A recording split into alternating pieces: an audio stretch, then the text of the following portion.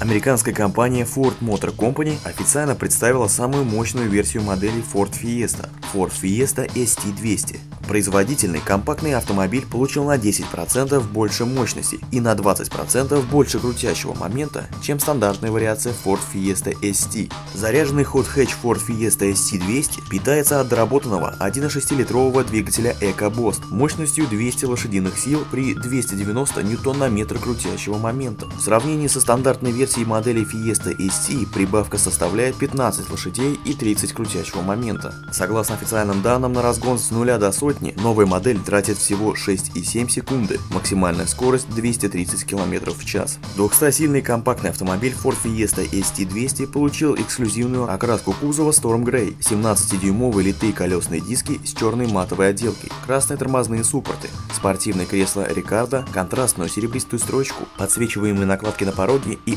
отличительные логотипы ST200. Помимо всего прочего, заряженный ход хэтч использует модифицированную шестиступенчатую механическую коробку переключений передач, в которой изменилось передаточное соотношение. Также автомобиль оснащен системой электронного контроля устойчивости и системой векторизации управления повышения крутящего момента. Плюс ко всему, заряженная модель Ford Fiesta ST200 получила перенастроенные передние и задние амортизаторы, а также модернизированное рулевое управление. Мировая премьера Ford Fiesta ST200 состоится на Женевском автосалоне, который распахнет свои двери для журналистов уже 1 марта 2016 года. Массовое производство хэтча стартует в июне, цены пока не объявлены.